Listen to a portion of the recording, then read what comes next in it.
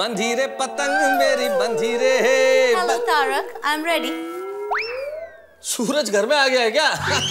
ओ चले। भाई दो मिनट बस लास्ट पतंग है ओके ठीक है मैं भी फटाफट आती हूँ हाँ? हाँ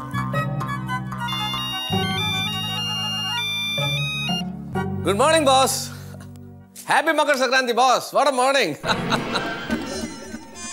हाँ बॉस नहीं नहीं बॉस नो प्रॉब्लम्स बॉस नहीं नहीं मीटिंग्स तो रखनी चाहिए। I like your this attitude boss कि त्योहार तो रोज आते रहते हैं लेकिन काम होना चाहिए। या या बॉस या। नहीं नहीं पहुँच जाऊँगा मैं बॉस कोई प्रॉब्लम नहीं है। हाँ बॉस बस अभी आता हूँ बॉस ओके बॉस इस बॉस को तो ना पतंग के साथ बाँध के हवा में उड़ा देना चाहिए meeting Tarak now I am ready अब हम चले? हम नहीं भाई सिर्फ़ तुम। मतलब? मतलब कि मुझे अभी पतंग की तरह उड़ के ऑफ़िस जाना पड़ेगा। व्हाट तारक मकर संक्रांति के दिन पर कोई ऑफ़िस जाता है? जाना पड़ता है अंजलि और जाना पड़ेगा। बॉस का फ़ोन आया अर्जेंट मीटिंग है। ओहो तारक कैंसिल नहीं कर सकते। नहीं कर सकता अंजलि। और एक बात बताऊँ कैंसिल नहीं करने के तीन कारण पहला कारण वर्क इज़ फ़र्स्ट बाकी सब चीज़ें बाद में। दूसरा कारण आराम हराम है। और तीसरा सबसे मुख्य कारण नहीं जाऊँगा तो नौकरी जाएगी। ये क्या तारक? आज गोकुल धाम में हम सब मिलकर कितनी उमंग से पतंग उड़ाने वाले हैं और आप ऑफ़िस जा रहे हो? मैं जानता हूँ अंजलि मुझसे छुपा है कुछ। और गोकुल धाम में पतंगबाजी तो बिल्कुल ऐसा लगता है ना जैसे सचमुच हम गुजरात में पहुँच गए हो। वहाँ का जोश और यहाँ का जोश बिल्कुल बराबर होता है। तो? लेकिन क्या करूँ मेरे बॉस का? मीटिंग है जाना पड़ेगा।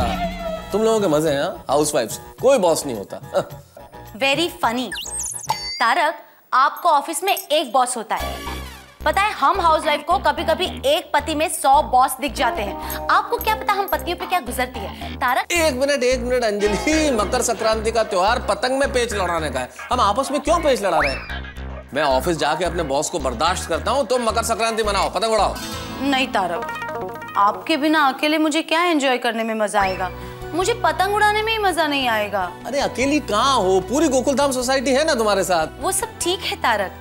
पर आपको पता है एक पत्नी के लिए पति बिना त्योहार मनाना यानी बिना डोर के पतंग। अंजलि बी प्रैक्टिकल क्या करती हो?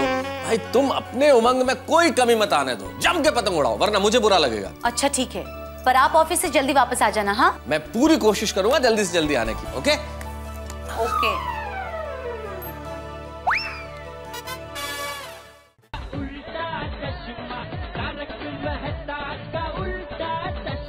you